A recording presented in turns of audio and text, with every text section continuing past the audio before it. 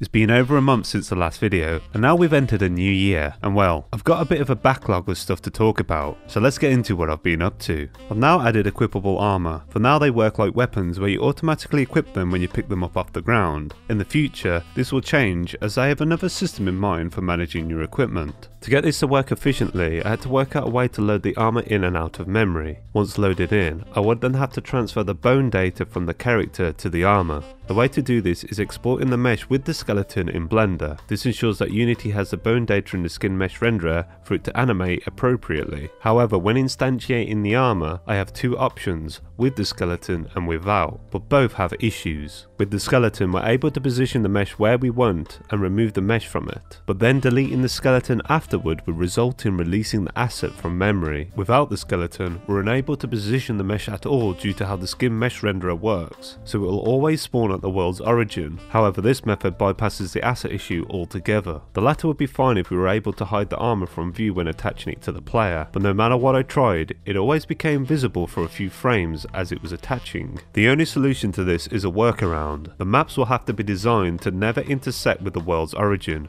otherwise the player will see the armor loading in. To further complicate things, there is a small delay as the pose of the armor updates. This meant if I didn't incorporate a delay between when the armor is put on and the underwear mesh is turned off, you get a glimpse of the character in the suit God gave her. Will the game have nudity? No. Well, maybe.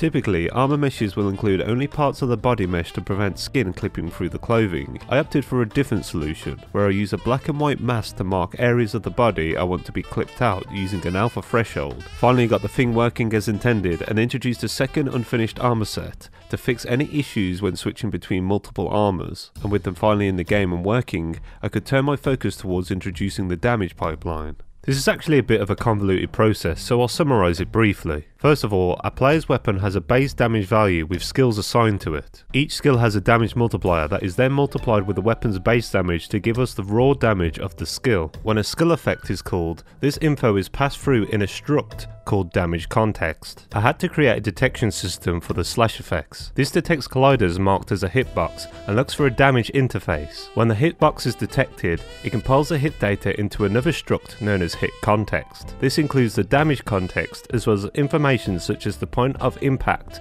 and the source of the damage. In the case a hitbox belongs to an actor such as the player or enemy, it sends the hit context to the actor's stats to go through a series of damage calculations and subtracts it from the target's health. Speaking of health, you'll notice I have two health bars. The red one is our HP and the grey one is our AP. The core focus of this game is dungeon crawling. Games like Darkest Dungeon do this very well, where you enter with limited resources and slowly find yourself becoming whittled down, eventually losing your party through a series of bad choices. This approach is common within the roguelite genre, so you may be asking, is this going to be a roguelite? And the answer is, kind of. I guess I'll talk more on that later down the line. Besides this, I also intend to play into the fantasy of class archetypes purely through the equipment system. I want your equipment to shape your playstyle through the skills they provide, while feeding into your stereotypical classes like fighter, ranger, etc. So the purpose of AP is to try and serve these two core ideas. Durability is often a badly implemented mechanic that only serves as some kind of pointless gold sink in many games, often hindering gameplay rather than enriching it. So why do I have something that resembles armor durability? Well, the idea comes from a game I played in my childhood, Lord of the Rings, The Two Towers. Armor was essentially just an extension of your health bar, and a similar system can be found in Divinity Original Sin 2, but there it has some interesting condition protection systems associated with it as well. I like these systems because you can physically see how your armor is protecting you, rather than just reducing numbers. I want to do something similar but with a bit more to it than just giving you a HP bonus. Armor has two main stats, durability and resilience. Durability is basically our armor points that are displayed by this bar, whereas resilience is kind of like a defense rating shown in the brackets.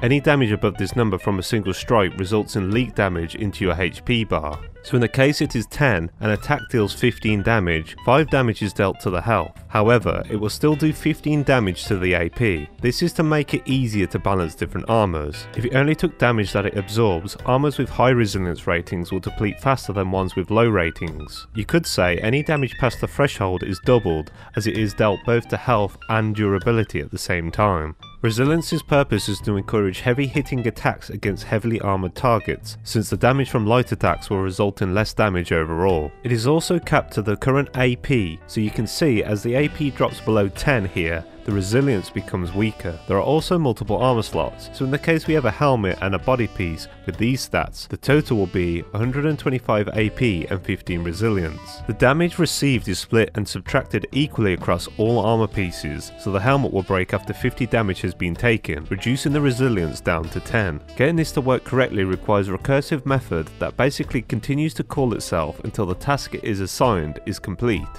This is to ensure that when the helmet breaks only receiving part of the damage, the remainder is then distributed correctly amongst the remaining armour pieces. As of right now, armour with high resilience is the superior option, but a plan in future to make heavier armours have drawbacks such as shorter dodge and higher stamina cost.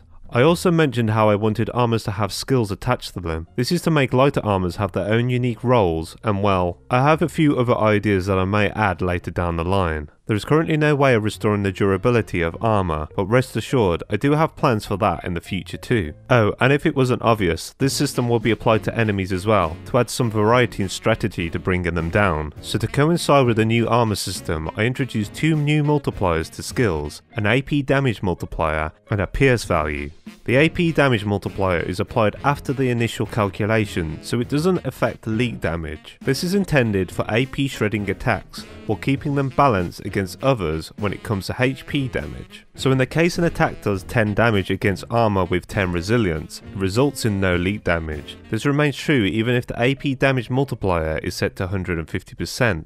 The result is a bonus 5 AP damage, and when the armor is gone, the damage to the HP remains at 10. Pierce on the other hand is a percentage of the total damage that ignores resilience. These two stats can be used in tandem, so by setting the AP damage multiplier to 0% and the Pierce to 100%, AP is completely bypassed. This is intended to be used for armor piercing attacks like a sword thrust. And as of right now, that is it for the damage system. In the future I'll be adding conditions where their application is determined by if the target has armour or not, and potentially a weapon swapping system so the player can equip themselves for different enemy encounters. I did add a few other things such as projectile traps and the basics of a hit stun system with some placeholder hit effects. This will be further expanded in the future as I iterate on the combat system and I eventually introduce enemies. This is going to be an ongoing project through 2023, so if you like what you see and you want to help out, leave a comment, like and subscribe. It all aids in the war effort against the algorithm gods. If you want to support me financially, I have a Patreon, but be warned, no build will be coming until probably after I've introduced enemies, as I'm still in the early stages of this project